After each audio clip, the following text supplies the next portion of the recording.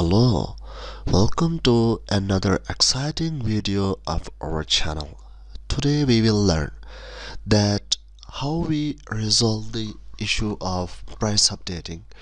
For example, this is our existing prices for our clients to use our services. But the issue is if you want to increase the prices then what will we do?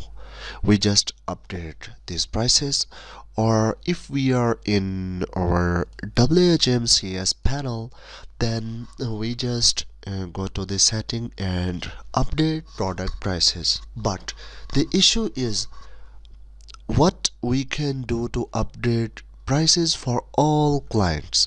This was the issue in WHMCS but WHMCS already fixed this issue. Let me show you how to do that. First of all go to your product uh, system settings then add-on modules. Then you must ensure that you activate bulk price updater.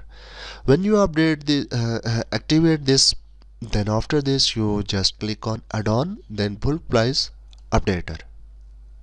It also allows you to update your existing clients uh, record. For example this is the domain section. If you want to update activated domain or new domain uh, prices renewal or uh, then you just select the domain name and also set up current prices. Or uh, and there is also other options. If you want that uh, you change product and services of uh, your hosting then you may also select package name. Then uh, it's new recurring price.